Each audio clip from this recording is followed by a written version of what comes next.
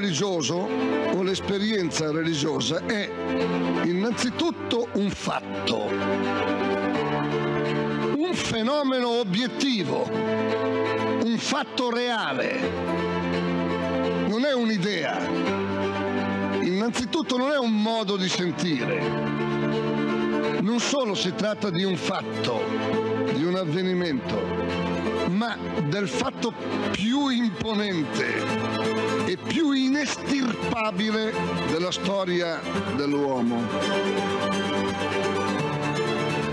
Più imponente, più vasto, che neanche il fenomeno dell'amore dell'uomo e della donna, che neanche il fenomeno del rapporto tra genitori e figli, perché il senso religioso è un avvenimento che pone, che afferma o che ricerca l'orizzonte entro il quale acquisti senso anche il rapporto tra l'uomo e la donna, anche il rapporto tra genitori e figli. Perciò è più vasto, perfino di quelli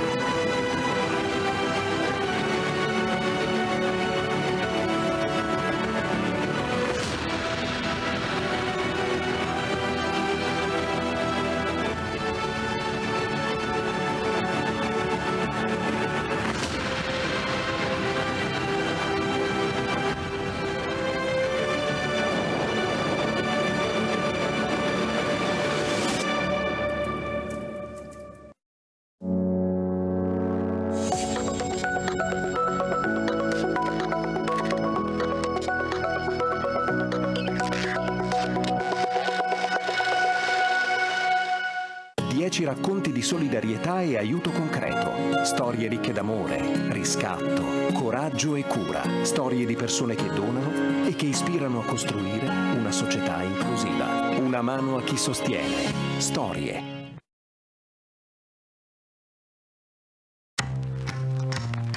Quella per farti spazio in città. What's next? O per fare spazio a nuovi amici. What's next? Quella per quando cambia il tuo lavoro. What's next? Per quando sei tu a cambiare idea. What's next? O semplicemente per guardare avanti. What's next? Vai su lisplan.com e scopri il noleggio a lungo termine più adatto a te. Lisplan. What's next?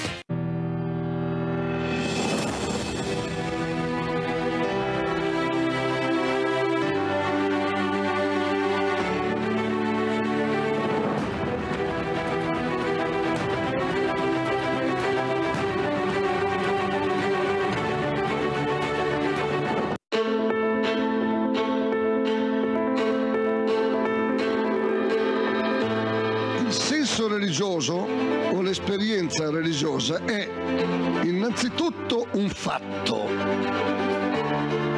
un fenomeno obiettivo, un fatto reale, non è un'idea, innanzitutto non è un modo di sentire, non solo si tratta di un fatto, di un avvenimento, ma del fatto più imponente più inestirpabile della storia dell'uomo.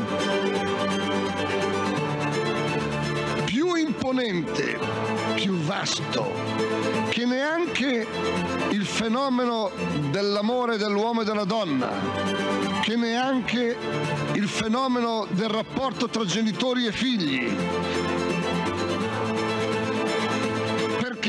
il senso religioso è un avvenimento che pone, che afferma o che ricerca l'orizzonte entro il quale acquisti senso anche il rapporto tra l'uomo e la donna, anche il rapporto tra genitori e figli. Perciò è più vasto, perfino di quelli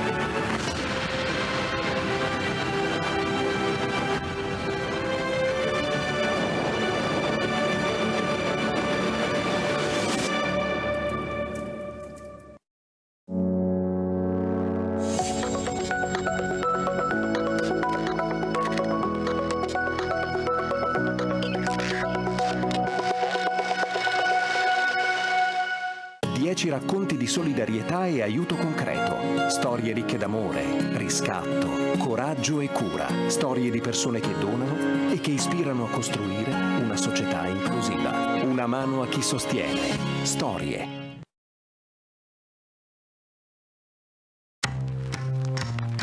Quella per farti spazio in città. What's next? O per fare spazio a nuovi amici. What's next? Quella per quando cambia il tuo lavoro. What's next? Per quando sei tu a cambiare idea. What's next? O semplicemente per guardare avanti. What's next?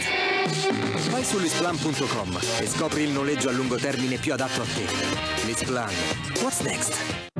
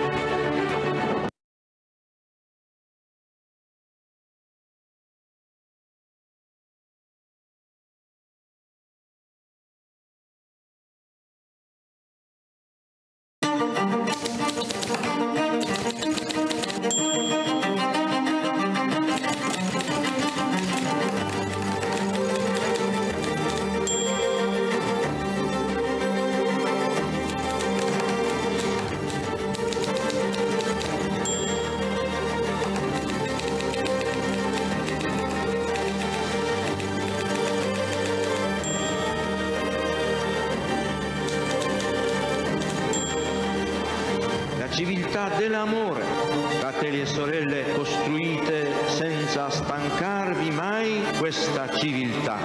Lavorate per questo, pregate per questo, soffrite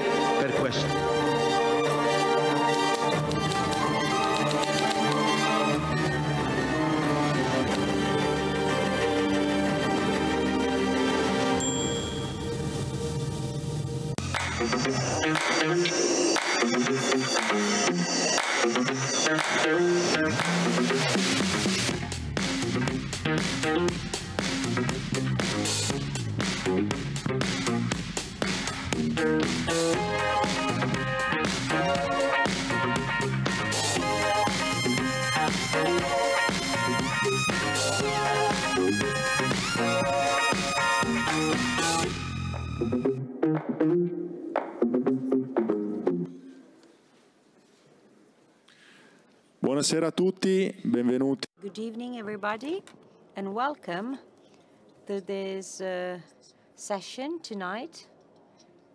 So, accepting the challenge of change in order to grow.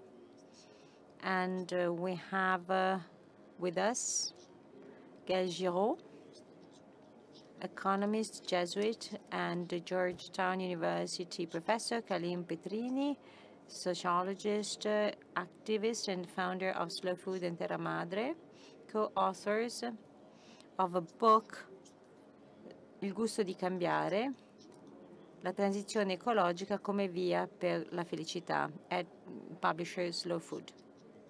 Professor Vittadini will moderate, the president of the Subsidiarity Foundation. So we're extremely happy to be here tonight to deal with this topic because it is uh, an extremely up-to-date topic. I mean, uh, you simply need to open up a newspaper to see to what extent it is uh, important. But then when it comes to friendships, this year's meeting topics, these leads us to the connection between man and the environment. We need to uh, somehow delve uh, into this topic because there's it is too much of a buzzword or I mean there are some controversial opinions expressed about that. So we really want to talk about the relationship between man and the environment. We need a, a solid approach scientifically based considering all the involved factors the, I mean, ecological issue has not to do only with uh, environmental aspects. and this is also the content of the Cum Tucte exhibition that you can visit in Hall A1. Just a few words uh, that can help us better understand this challenge. So this is going to be my introduction to this session, to this exchange that we're going to have here in a second. The keyword, first keyword is friendship. But Pope Francis in the Laudato Si encyclical says that uh, so the universe is an expression of uh, the love of God. And there's always an expression in geographical space. And this is also the beginning of our exhibition Cum Tucte, because this is the first key aspect. The geographical space where we are is an expression of the love of God and the whole universe tells us about the love of God. If we start from this assumption, I mean, we can't avoid taking care of this place, which is the creation of God. So that is why the current environmental changes go hand in hand with the Saint Francesco message.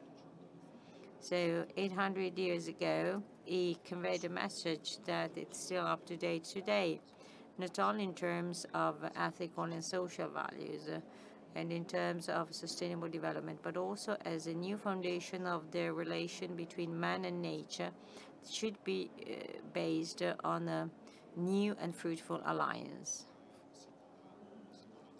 The second key word I want to share with you tonight is home, house. So this uh, planet uh, is our house. It is our home, regardless of international or local policies, regardless of individual daily behaviors. We know that natural resources are a common good are something that is inalienable. And uh, Pope Francis, a few days ago, said that he's working on the second part of Laudato Si encyclical letter because he says young generations have the right to get from us a beautiful and livable planet. That is why we have duties with respect to it, because this is a, a common house and we need to preserve it. So this common house principle links up with the concept of community. In its original content, community means cum manus, sharing a gift. Natural resources are a commonly shared gift. That is why we need to involve people. We need to enhance local actions and society at large. In uh, such uh, individualization-oriented times, so we need to change mindset. The third key word is ecology.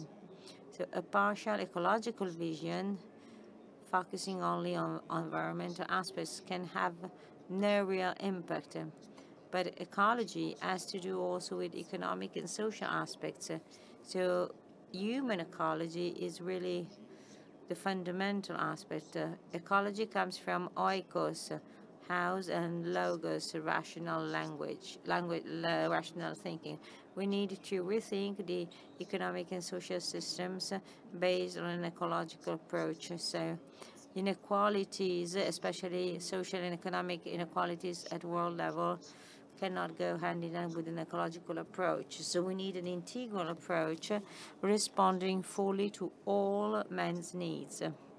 We are going through times of change. Pope Francis talked about a civilization challenge. We need to carry out a cultural mindset change facing the current changes. So man and nature should not be competitors, but they should go hand in hand, as uh, Saint uh, Saint Francis said 800 years ago. We are at the beginning of a new historic era, the ecological transition that will last for decades, maybe for centuries. As a consequence, the key question, the decisive question is how can we help us each other? So we need to tackle this issue. We need to mutually help each other. We need to understand which will be the new cultural foundation of this new era. In uh, the exhibition that we have brought to the meeting, the Lombardy Region Foundation for the Environment offers a proposal to answer together to this question. So I would really like to thank the high-profile guests that we have here tonight and that will help us answer this question and that will help us better understand the foundation uh, of this new era of civilization that Pope Francis showed us. So I thank you once again and I wish you a very good exchange. Thank you.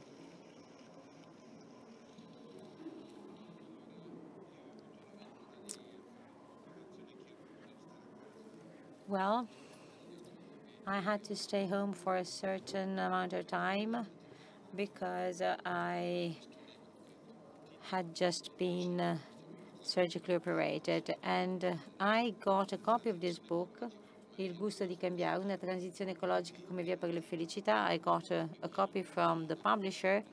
And the title is really interesting. And uh, I really read it in a very short time and so the questions that I'm going to ask uh, our two guests, uh, who are worldly famous, uh, are about uh, going through some parts of this book. So these uh, people, these two people, are the Abbagnale brothers uh, of, I mean, this topic so they are the Abbagnale brothers of ecology, and uh, probably the third unspoken author of the book is uh, Pope Francis. So really, the sort of third member of this team is Pope Francis, the helmsperson. And uh, Pope Francis has announced a few days ago that he's working on the second part of the Laudato Si encyclical letter. So I will ask four questions each in order to get uh, short and quick answers and to have a lively debate. So I start from Carlin Petrini. And in the book, you write, according to your experience on ecology, that the current uh, food uh, model is unsustainable for the earth. We are great friends. So waste is uh, functional to an economic model that considers food as a low quality asset. So prices are kept low and uh, supply always uh, overachieves and demands. And at global level, we produce food for 12 billion people, but we are 8 billion. So 30% of food is wasted we eat 95 kilos of uh, meat per, per capita. In the US, 130. In sub-Saharan Africa, 5 kilos. 60 kilos is the suitable quantity of meat consumption per year per capita. In the world, we're going to have a water availability reduction in the next few years by 20%. So please, can you tell us more about these alarming data? I think that it is crucial to better understand all this. So the floor is yours. Well,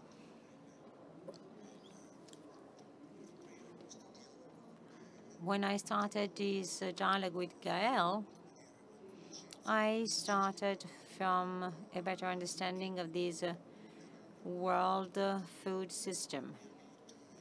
And uh, I have established the slow food movement, and more than ever, I've understood that the current world food system is not sustainable and is almost criminal in terms of ecological transition and in terms of uh, food system impact on climate change. I think that the food system, the current water food system, is the leading cause of that. 35% of CO2 production is due to the current world food system production, world, world food production system, sorry. And what about uh, ships, airplanes, and mobility? So the impact of mobility is 17 percent. 35% of CO2 emissions is due to food production, not only in terms of uh, production like uh, animal farming, farming, extensive farming, processing, distribution, and consumption. 35% of uh, the CO2 emission situation is due to the world food production system. On top of that,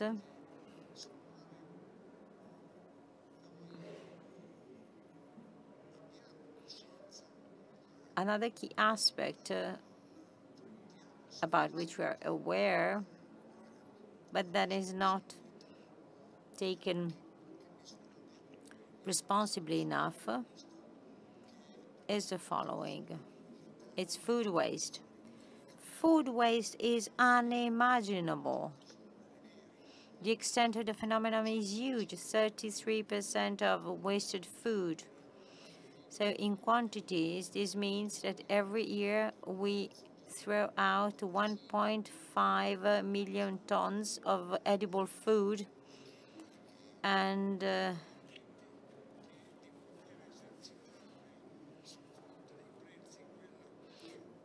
this situation is also the cause of the very average price average low price level. So food has become a commodity.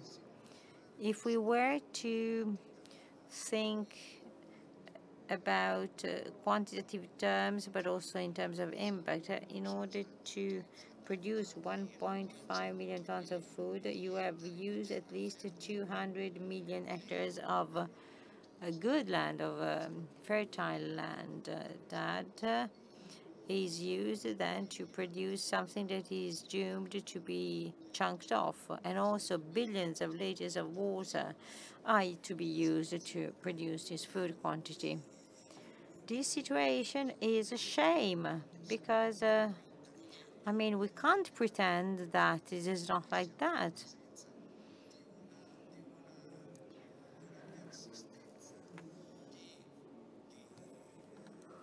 And on top of that, we know that more than 900 million people on Earth are suffering from hunger, from hunger. And on top of that, we have uh, from 20 25 million people starving to death. Many of them are children. So if I think how little attention is paid to this by us in general, well, I think that politics at world level should do something about this because watching in such a passive way this shame happening is irresponsible. So that was my starting assumption. And then little by little, we unfolded all the rest because this has to do with uh, what we know as primary economy. And when it comes to primary economy, well, we all have a relation to food. Well, many people suffer from the lack of food, but then primary economy is something that uh, has to do with every one of us, as well as waste, waste of food. For instance, the meat consumption level is too high. And that leads to the huge CO2 emission level. When people say that these things should be changed, well, change then is presented as a sort of, you know, mortification, as if, oh, we have uh, lived such a beautiful life, but now we have uh, to change and go through mortification. But this is the wrong message. When I was younger, well, many years ago, many years ago, believe me, but I'm not talking about hundreds ago, I'm talking about 50 years ago. Italians used to eat 50 kilos of meat per capita. Now, the average meat consumption per capita in Italy is of 95 kilos per year. And believe me, the nutritional condition of Italians was great at that time. And uh, I mean, that was the case. Uh, we had an excellent situation between the end of the 50s and the beginning of the 60s. Right, then our behaviors should change, and that would not mark any mortification period. Instead, that would be the start of a liberation.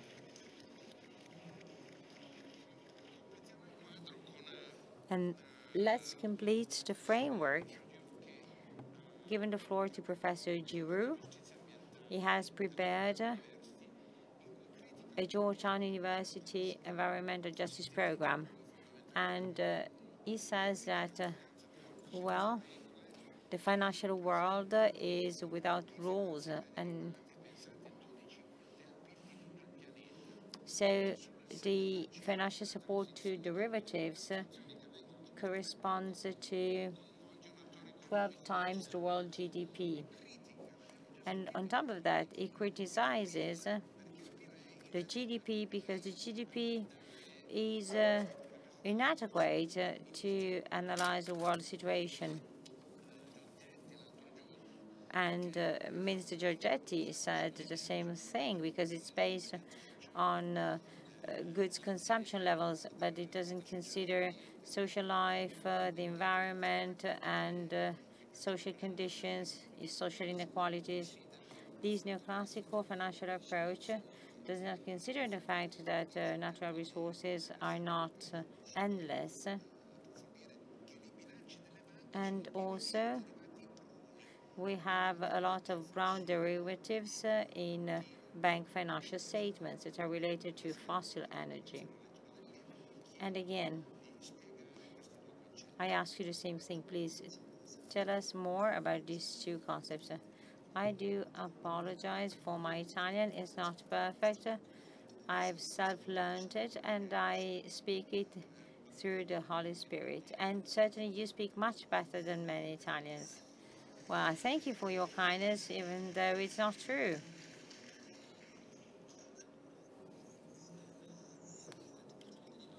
When it comes to banks, well, this is a very important issue because I think that this is the, the they are the invisible players because they do not want to do any, anything for ecological transition. When I was the head of the Development Agency of France, so before becoming a Jesuit, I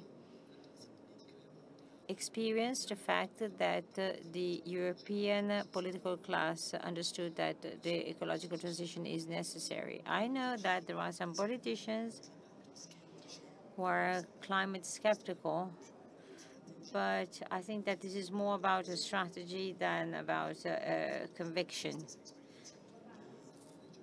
And I then had the same experience with company managers. They have understood that ecological transition is the business of the future, certainly.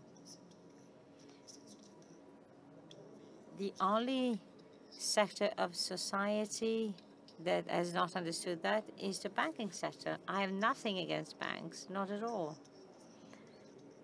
Two years ago, I published a report in France.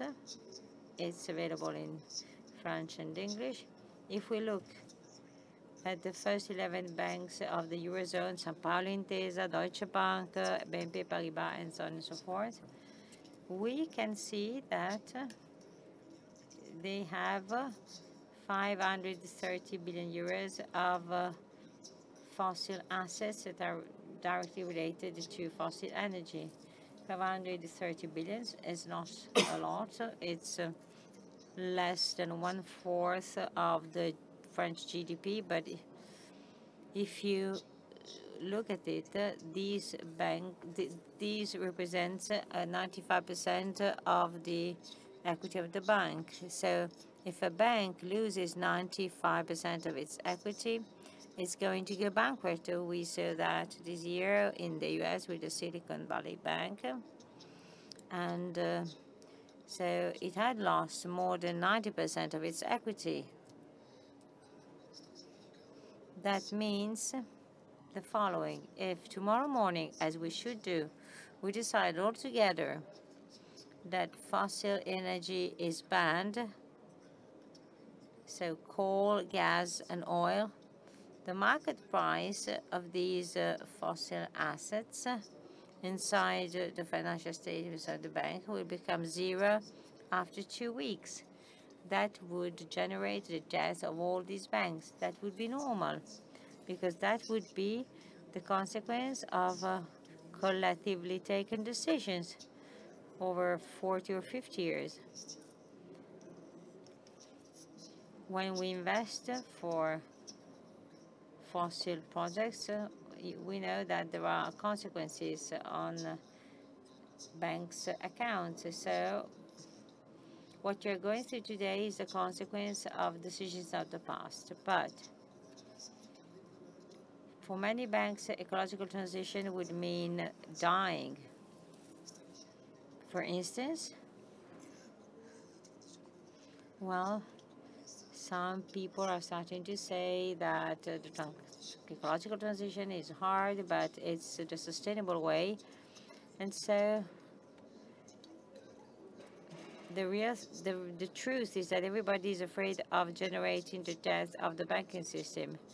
There is a decision, maybe it's not the best one, but maybe in a couple of years' time, maybe a, an officer in Brussels uh, was going to say, let's do what we did after the financial crisis of 2008 because we created a bad bank.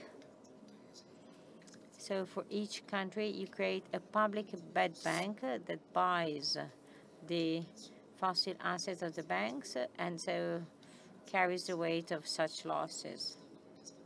But then this uh, bad bank would be a public bank and would be turned into public bad debt, sorry. And who would pay for that? Us. I don't think that this is a good solution, especially because there is an alternative. The alternative would be about asking, begging the European Central Bank to play the bad bank for the whole Eurozone. What would be the difference? Well, there would be that would make no difference for the banks. so again, banks would be saved and would be able to finance the Green New Deal at European level. But for us, the difference is huge because the European Central Bank can lose millions without dying because it's a central bank. It's a central bank, and the central bank can somehow recreate its own equity without any cost for anybody. When I said this uh, a couple of years ago on Twitter in France, some French colleagues uh, said, oh, Mr. Giraud has understood nothing of the functioning of a bank. But fortunately, after a few months, a very discreet institution in Switzerland, in uh, Basel, that is the central bank of all central banks, the Bank of International Settlements, that published a report saying, well, Mr. Giraud is right. A central bank can lose billions without dying. Why? Because it's a central bank. And then after that, so some colleagues said, technically you are right, but politically this is impossible. And I said, why?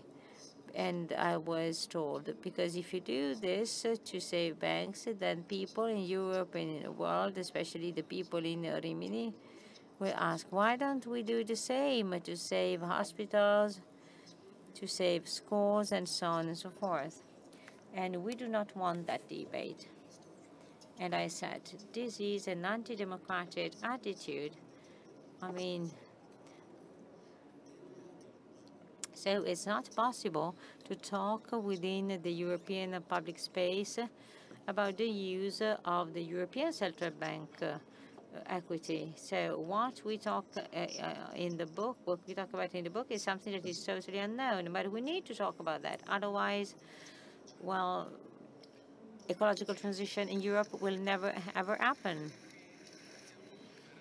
Thank you. Thank you. And uh, we are already discovering a lot. And so, Professor Giraud, I would like to continue with you because you said there is no alternative to ecological transition. It's an, inevitable, an, inevitable change factor because that may lead to the green reindustrialization of Europe in a continent where industrialization is blocked.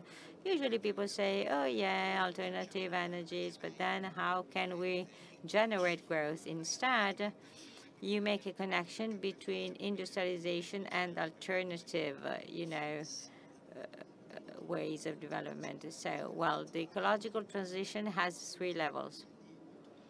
The first level is very well known, is the energy transition from uh, today's economy based uh, on fossil energy towards uh, an economy based on renewables. This is already a big challenge that is pretty well known today. The second level is much more unknown. It's the material level because in order to achieve the first level, we need more minerals than in any other normal case. For instance, we need a lot for green infrastructures, copper, for instance, copper. We need copper. We need a lot of more copper for green infrastructure than for fossil energy infrastructure. Some uh, geophysicists are telling us we need to recycle in a systematic way the copper that we use because we will need more and more copper in the future. And copper is a critical mineral and the density of reserves of copper at the world level is pretty low.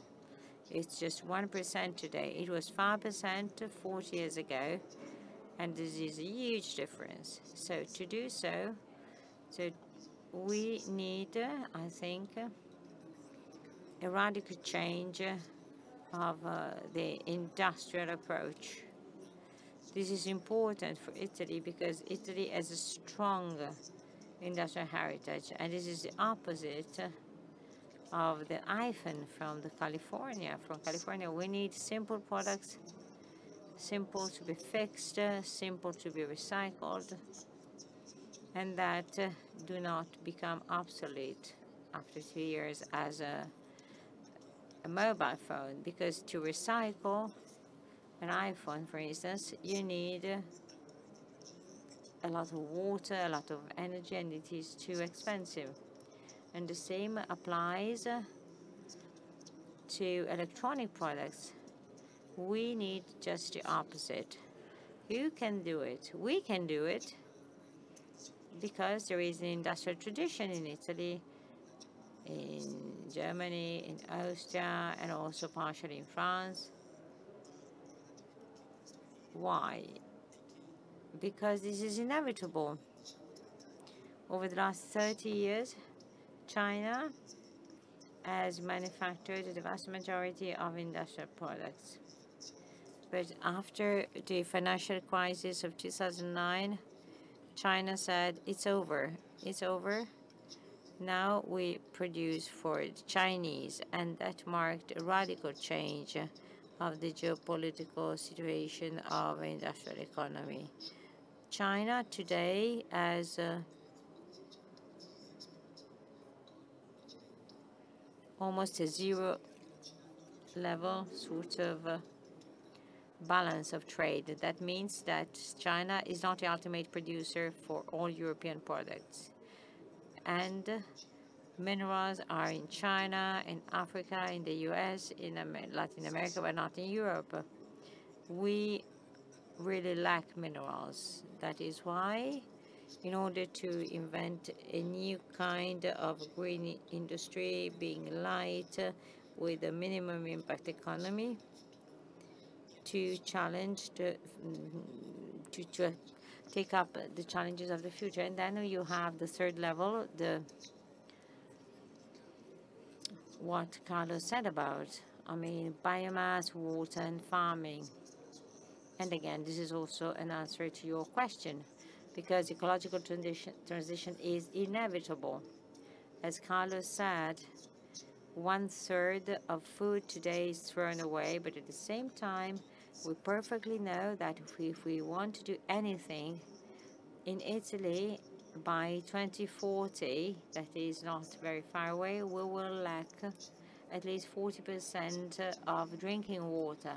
If we don't do anything, so probably the Vatican won't be in Rome because without drinking water, the cardinals will not be able to work in Rome. So there is no plan B, no alternative. We need to face this challenge. So we need to reduce the amount of quantity, the amount of food that we waste, and also we need to better manage uh, drinking water. This is part of the ecological transition. This is inevitable.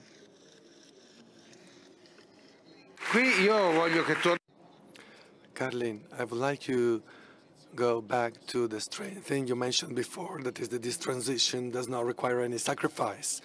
Rather, it's an opportunity to feel with justice, enjoy our life. Can you expand on that? Well, this is a summary which is also the core, the spirit of the book. A new historical stage opens up. We have to be aware of that you know, water resources will last a few decades, maybe some centuries. But for example, we've just went out a historical stage that was called Industrial Revolution that lasted three centuries. Humanity has never known levels of well-being and public health as in the last few centuries. However, there is an element that uh, was not considered in this historical stage that instead was highlighted by the Roman Club, Club, Club of Rome in the 80s, that is the limits of development. That means that this historical stage was based on the fact that our planet resources were infinite. And we all enjoyed this condition and we benefited from that. But today, we are aware that these are finite and that this limited amount of resources is now having consequences with the loss of biodiversity or climate change. There is also a lack of the fertility of land. We are witnessing a dramatic situation.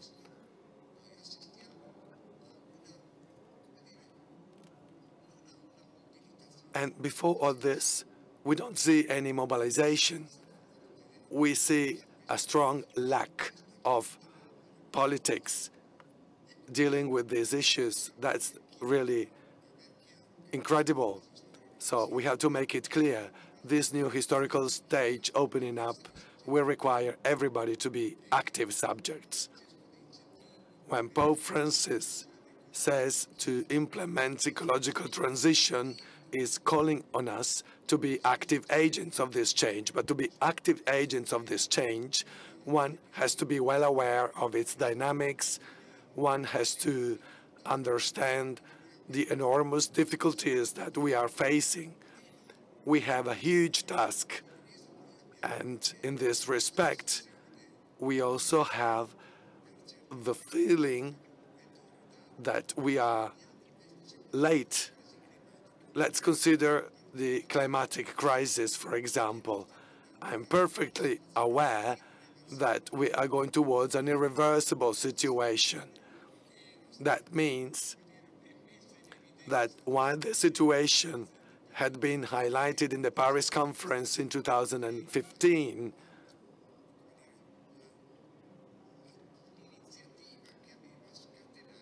in fact, that initiative triggered the intervention of Laudato Si, because that was on occasion of the Paris conference, and the Paris conference made certain decisions, and then with the change of governments and governance in the US and in Brazil, just change everything and nothing is done. And year after year, there are these COP conferences, conferences of the parties with environmental movements, all the people mobilized, but then nothing is done.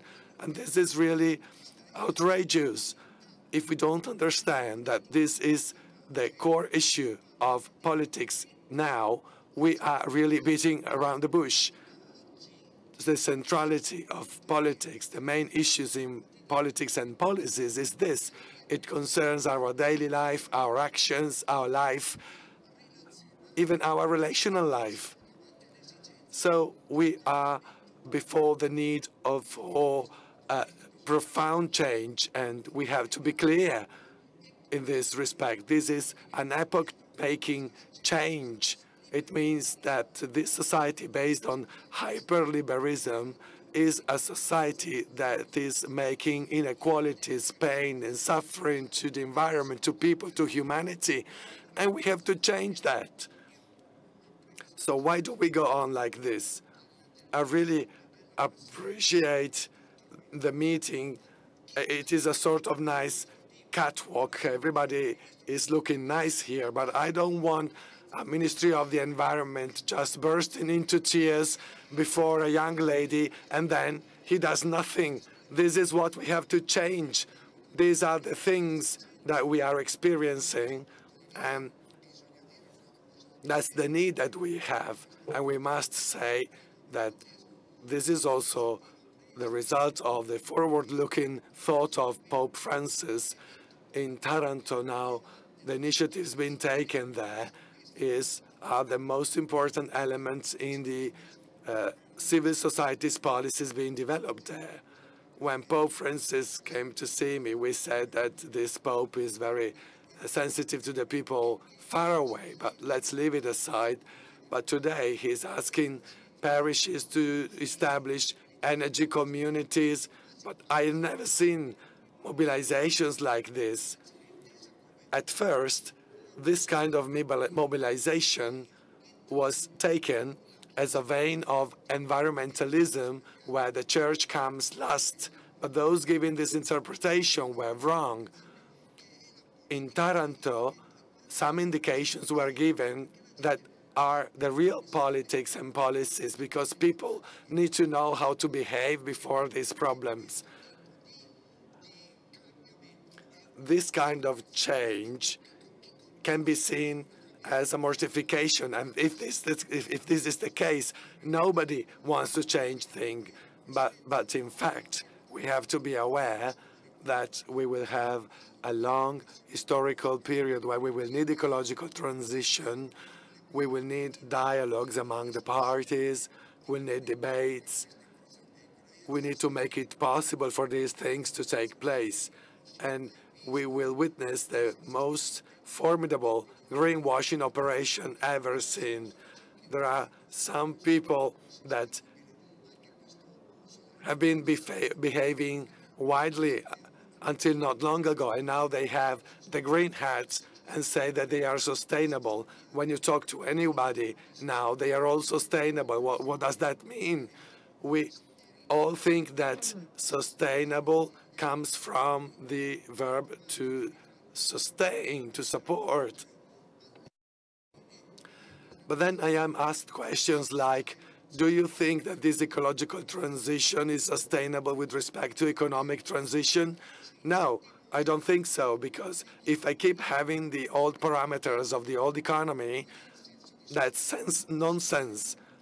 So sustainable comes from sustain, not from supporting. The sustain is the lever that can extend the notes in the piano. If I play the A key, then the sound will extend if you push that lever. Our French friends say durable, and they are right, because our actions at an individual and collective level should point to be more durable. But we have been growing up within the logic that the shorter, the more functional for the economy, so that people would keep buying and the GDP would grow. But this situation is over. But to convince that people, for people that this situation is over, we need an enormous mobilization. So opportunities like this should be used for this purpose, for God's sake. Eh, per confortarti un po'. Well, to reassure you, I can tell you that uh, Archbishop uh, from Taranto was here. He was a great protagonist in that respect, and he also talked about uh, energy communities.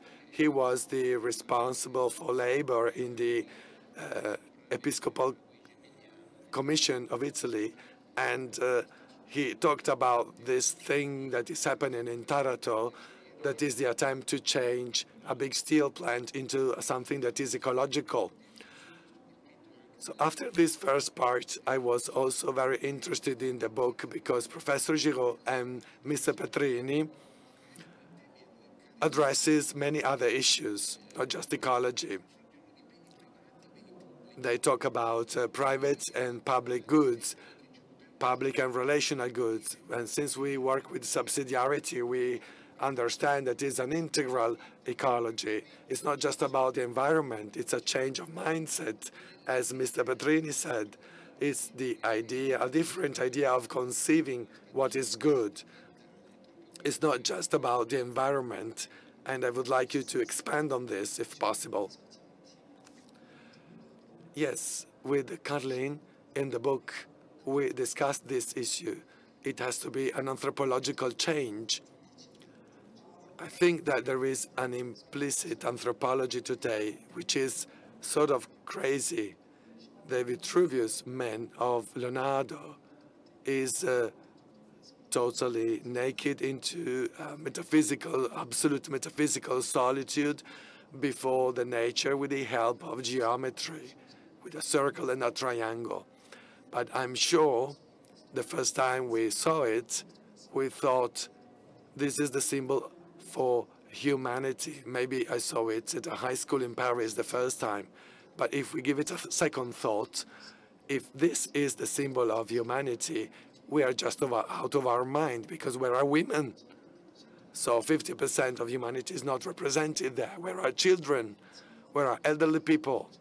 And especially this adult, male adult, is a European person, maybe a French or an Italian, depends on the time when Leonardo da Vinci lived, but really 50% of humanity is not there. So it can't represent humanity. So where is the relationship with the, with nature? It's totally absent from that symbol. It's in, there is a conflict with this technology of a European adult totally alone fighting with nature. I have the impression, and I'm sure that Carlo agree with me, that we need a completely different anthropology. Even you know, the Laudato Si and Fratelli Tutti anthropology could be useful. Maybe the next encyclical also will give us a new anthropology. Maybe a relational anthropology where the most important thing is the relationship between me and nature, Carlo and I, you and I, the relationship between men and women. Because as Pope Francis said, if we're not able to respect women, we are not able to respect nature. And the same applies to the relationship between adult people and young people. If we can't respect children, that's the same with nature. And sometimes it's the very men being violent against women, against children, and against nature. So all this is interlinked. So a new type of anthropology is required. The most ancient, the biblical anthropology, where relationship is at the center. That's why we talk about uh, way to happiness. What is happiness? It's not consuming more and more. Consume happiness is the quality of relationship between us and with nature. And that's the most important thing. That's uh, the source of life. And that's what should be the criterion of happiness, the criterion of anthropological change for ecological transition. Thank you. Thank you so much. Consider some years ago with our Foundation for Subsidiarity here at the meeting, we criticized the selfishness of the individuals that with an invisible hand would bring to collective uh, well-being, but we were considered as mad because this invisible hand didn't really exist. And at last we have great scholars talking about this. And Carlin completes this with a word that really struck me because he says, what is the subject of all this? Well, just by naming a subject is incredible because subject uh, is created in sociology. And Carlin talks about community, young people's movements as the protagonist of these changes. It sounds something, it sounds like something really strange. I was a graduate in economics many, many years ago, and talking about of communities is rather odd. And community in the Laudato Si is indeed present. We did one ourselves. You mentioned this to say that there must be a human subject to uh, take on these values. What do you mean? Well, we have to come to terms with the idea that there is a distance between politics and civil society, a responsible civil society. A responsible civil society is growing, stimulated by young people who are really suffering. That is why given these situations. What should happen is that politics interprets these demands and then puts into place some changes. But changes are so radical that if we think about that, we are all asked to go against what we have taken as religion, that is an economy based on constant growth, on the GDP, on all these quantitative parameters of well-being and of civil society. These are obsolete, but these have now been embedded into our DNA. We can't even believe that another way is possible. And that's not all. As soon as somebody comes up with some idea, they are accused as visionaries, as people out of the world that are not really practical. And uh, I am really sorry that at present there are two fundamental, fundamental issues for humanity. On the one hand, the change in the relationship between man and nature, and on the other hand, the right for peace. Well, Pope Francis is a voice, is a cry in the desert, because we can see that he has the ability to call one and a half million young people and that his message has an impact. But this impact is with respect to the solid religion of the economy that has unmovable, principles. It becomes like a utopia, something that cannot really be pursued. Since, since this is the present situation, on the one hand, we have really to state that the situation is dramatic. We have to be frank, and that we're going towards an irreversible situation. So our initiatives will turn into containment initiatives, will not be resolution-based initiatives, not to solve. On the other hand, we have to be aware that we have to create a new political subject, and this new political subject must be spread as much as possible. We have to be aware that uh, in the West, in our Europe, historically, the greatest revolution that, have, that ever took place took place in the Middle Ages when the Benedicts changed the European agriculture. European agriculture was born out of this uh, work of community. Uh, they restored wetlands, they managed the fields. That's a real revolution.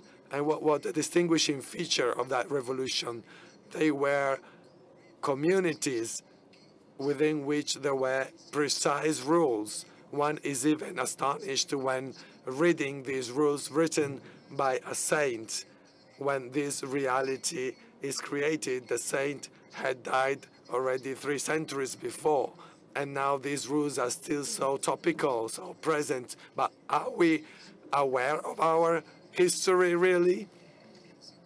So I think that uh, the situation of implementing forms of communities that can have a kind of autonomy and that are not subject to hierarchical control and that can express their diversity is really important. When we read the Laudato Si, this division between believers and non-believers doesn't make sense. Here, the world is uh, being destroyed, uh, and we are still wondering whether you are or not a believer. That doesn't matter because we have to be practical we have to be concrete. So in my view, this is the new frontier of new politics. This is the new frontier of new politics, which requires a spread subject in the civil society embracing this approach to biodiverse communities that have they have to be sufficiently anarchical to interpret their territory. As Italians, we can't propose a solution to our African brothers. Our African brothers must have solutions there where they live. And this is uh, an approach to mobilization that can be one of the hopes. Will it be successful? Maybe not. But tell me what alternative might be there. Because if the alternative is just to wait and see and wait for a new kind of subject, just presenting these issues to the benefit of the civil society, well, we are looking forward to it, but it's not there today. Even if you listen to politicians, politicians are talking about people are talking about things that the people can't even understand. They cannot be understood. So we are entering a stage where civil society now must fully express some forms of gratification because this is a form of gratification and that they become an active political subject. This is the beauty that has even uh, pushed some charismatic people. There are some people that believed in certain things, and these were forward-looking people, because if they started to work in politics, they could have done nothing. So the only hope today is to have a spread forward-looking attitude to be able to interpret this change. That's what we need, a civil society that becomes a political subject. And even if they don't form a rigorous political subject, that's not a problem. But the people must really start doing something, otherwise, mala tempora. Uh, per me Well, what I really like the, about this debate is that, uh, well, everything seems so link up, links up. Well, I have a last question. So I now understand why Pope Francis, uh, I mean, uh, has become so attached to you. Well, I've always considered you as a master, so I would like you to end up on uh, a sort of uh, deeper explanation of what you say about uh, the encyclical letters of Pope Francis and his pathway. You said to me once, he's the only great man, together with the people from the left, who is uh, understanding this and is trying to fight a war for this. Well, not to fight a war, but to struggle for this, sorry. Well, First of all, we need to have a historic perspective. I need that in August 2016, I was here. I was here. And the, the room was as full as tonight. And then at one point, I asked uh, the people, who among you read the Laudato Si? There were four priests and two uh, uh bishops uh, who said, yes, we read it, but they were the only ones. But, well, for them, it's almost a professional duty. Nobody else read it. The thing is that this document is incredible. It is so important. It was not understood neither from uh, Catholics nor from laymen because, I mean, it was so misunderstood. And nobody had understood that this topic was strictly related to spirituality. Then I had a dialogue with Pope Francis, and he told me very honestly, I was in the very same situation.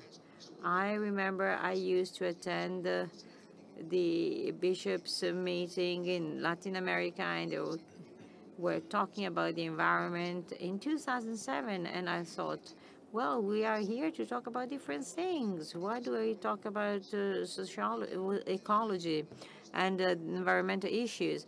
And again, so I must say that another key thing is that what he did is also a very important testimony. We are entering a very incredible historic phase. Next year, we're going to celebrate 800 years of uh, Saint Francis' uh, work of art. And uh, so we are approaching very important years. Our civil society should consider these celebrations as very important because, uh, I mean, uh, there is so much still in uh, Saint Francis' words. Uh, I mean, we should consider is uh, Canticle of Creatures as uh, the Canticle of the Sun is a key uh, piece of work because it's about, uh, I mean, topics that are still up to date. And I say it as layman. Well, the Pope said that uh, I am a pious agnostic because I feel pietas for nature. Okay, so I'm agnostic. Okay, I accept it. But what I want to say is that we are faced with the lack of uh, vision. We lack visionary people. But the Canticle of Creatures is the most visionary work ever because it's a sort of precursor of Brother All. And uh, politicians will never reach that. Instead, the new generations really want to hear this. They want to hear that in order to put that into practice. You are without any bearings. We need to develop this sensitivity to fully understand uh, the historic phase we are going through. On top of that, I'm almost very much worried by the solitude of this man. He's so lonely. There is no movement supporting him in this, but in Piedmont region we have a saying that is, our Lord pays later, but then pays abundantly. So I'm sure that uh, the visionary nature of this man will be politically acknowledged because now, I mean, there is no real debate living up to that. Europe is uh, somehow closed but are we aware of the fact that the FAO is telling us clearly that climate change will generate migrant flows of more than 200 million people, and we discuss with the Tunisians for, I mean, a little bit more money. Uh, you should be aware of the fact that things are changing, and then what happens? Oh, well, no political party cares at all. Neither the right nor the left parties. They don't care. Simply, we somehow are faced with a sort of accepted genocide because so many people dying under our eyes should generate some reactions. But no, it's okay for everybody we should get so angry, so angry for this. We should talk more, do more. And civil society should understand this because if civil society does, uh, doesn't understand this, we should uh, consider that then the pain and the suffering generated by the environment will somehow fall on us. So a sick environment uh, somehow reacts badly on us. Secondly, we need to take up full responsibility. Then we need a strong mobilization. We are faced with a historic moment. We need to take action. We need to do something. It's very hard. But if we really care for our planet, we need to get together and do something. We need to carry out practical changes that can really lead to real changes of the status quo. I hope that uh, your words will be heard because now we have many, many people following us on streams, and uh, there are certainly many people listening to you. So, Professor Giraud, you're a Jesuit. I'm asking you something that is complementary. You have extended somehow the church's social doctrine because usually these topics were absent from uh, the church social doctrine. So being you a Jesuit, what is your vision? I mean, what do you think about this? I mean, some years ago, I've always been a pretty green and I was told, no, we should think about man and not about nature. But for the very first time, the two things are going hand in hand. So what is this new conception about? So I want to tell how I came across him. So the very the the the term ecological transition was invented by him in 2014. And I remember meeting him at a debate in Bergamo.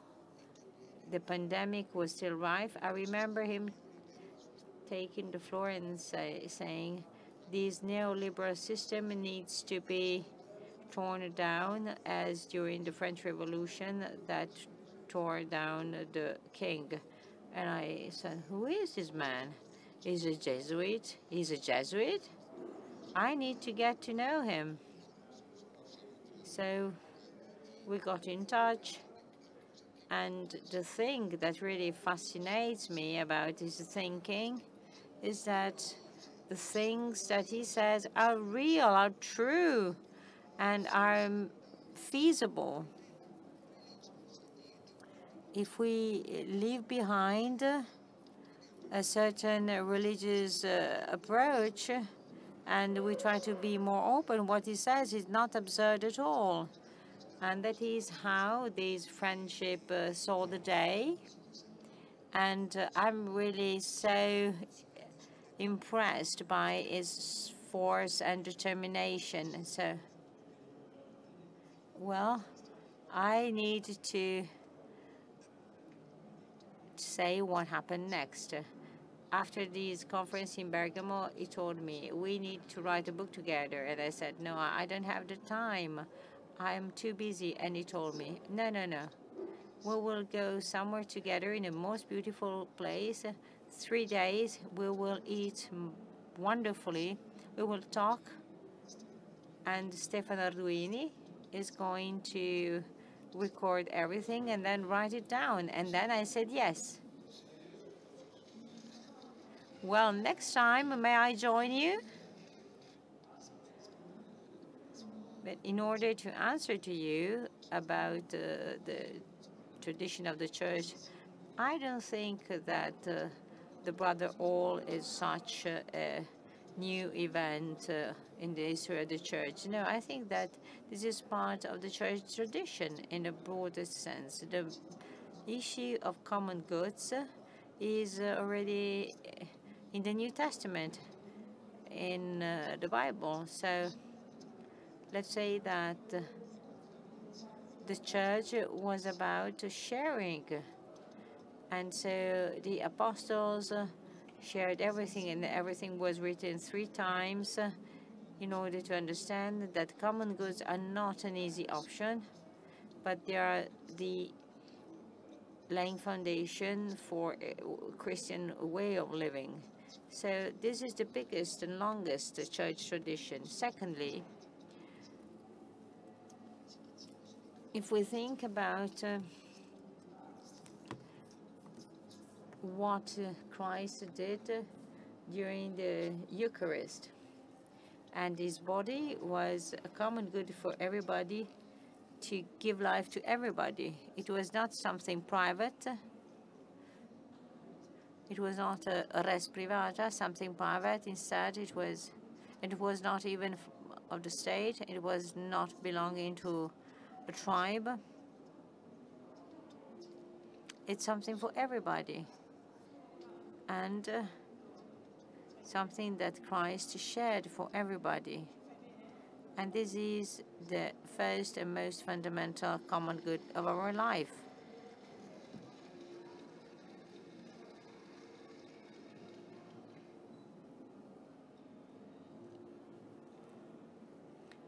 I hope that the people following this session have seized the value of this exchange. What has been said here is uh, of a revolutionary nature. It lays the foundation for a radical change. And this place is so important, it's so precious. At the meeting, people can talk and discuss and exchange uh, opinions and uh, come up with uh, these kinds of ideas. Extremely valuable things have been said, and I think that everybody will retain what struck them the most. Well, I think that our guests uh, helped us better understanding the notion of uh, integral ecology, integrated ecology, because this has to do with man as a whole. It has to do with farming, with business, with industry. In the Cum exhibition, we have a, a beautiful picture made by the Accademia di Brera students reproducing the traditional world plan, but in a disproportionate, intentional way. So countries are the countries have uh, the size equaling the quantity of CO2 emissions that they generate. So the biggest countries are the industrialized ones. So it goes without saying to what extent the uh, greenhouse gases uh, emission levels is strictly connected to economies and rich countries, poor countries, the poor countries are the most affected by the consequences of such climate change, but they are the smallest producers of these uh, emissions. So again, Pope Francis is very clear when he talks about integral ecology. And also tonight, uh, we had a clear proof of the fact that we are faced with a new era. And um, we are going through a radical period of change that could be compared to the Industrial Revolution. Maybe in a couple of centuries' time, well, this period will be remembered as uh, the ecological transition revolution. So we have such a great responsibility. And uh, beyond the durability, beyond many things, maybe the biggest issue ever is the meaning. What's the meaning of this revolution? And so I'm happy that uh, we finished this discussion with a reference to the encyclical letter and uh, with the announcement of the current uh, work of a new encyclical letter the continuation of the of the Laudato Si. So we need to be aware of the fact that we're going through change. The Pope understood it. So there is a place where to find the meaning of this. And so I thank these guys for helping us better understand the extent of this change. Thank you. So we talked about friendship, and uh, friendship has always been one of the highest manifestations of human relations. Support and love become mutual. Mating is the result of uh, friendship and relies on uh, human relations. So please uh, do not hesitate to donate uh, at the specific Dona Ora desks uh, with the red heart. Another important thing is that the Meeting Foundation is an entity of the third sector, and if you will support the meeting, you will be able to access tax breaks. Thank you very much, and uh, have a nice evening. Thank you. Volevo dirle che io sono un membro.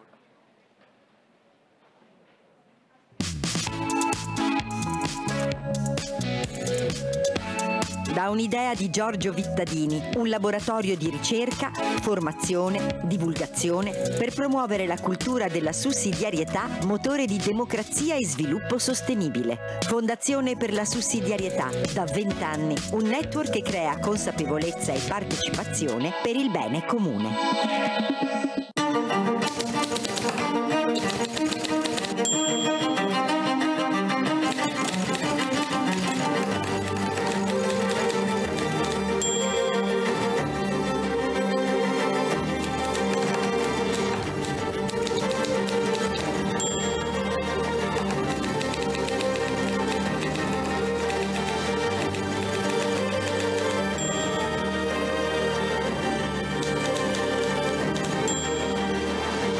Civiltà dell'amore, fratelli e sorelle, costruite senza stancarvi mai questa civiltà.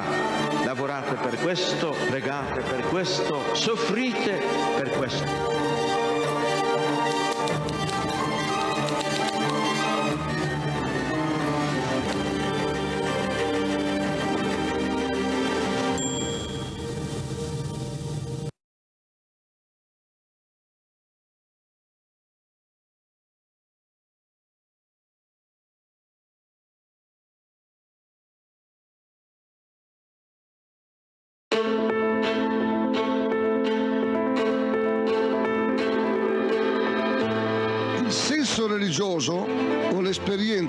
Religiosa è innanzitutto un fatto,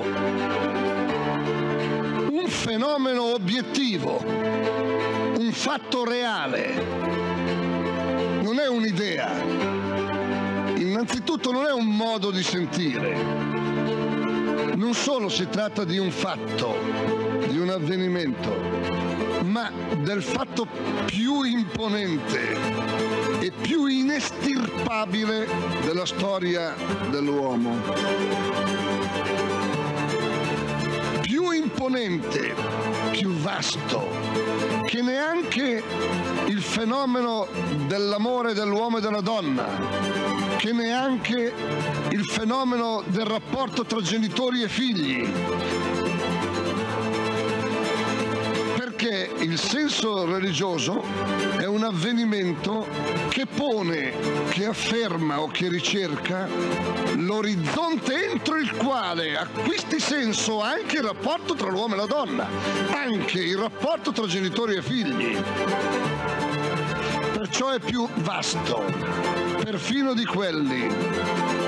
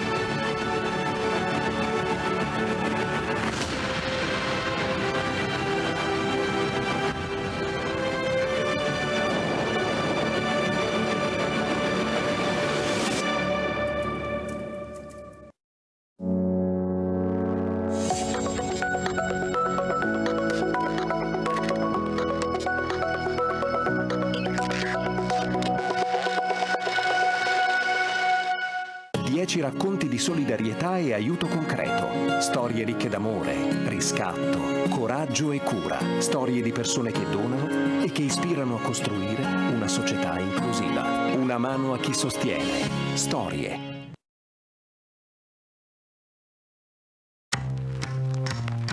Quella per farti spazio in città. What's next? O per fare spazio a nuovi amici. What's next? Quella per quando cambia il tuo lavoro. What's next? Per quando sei tu a cambiare idea. What's next? O semplicemente per guardare avanti. What's next? Vai su lisplan.com e scopri il noleggio a lungo termine più adatto a te. Lisplan. What's next?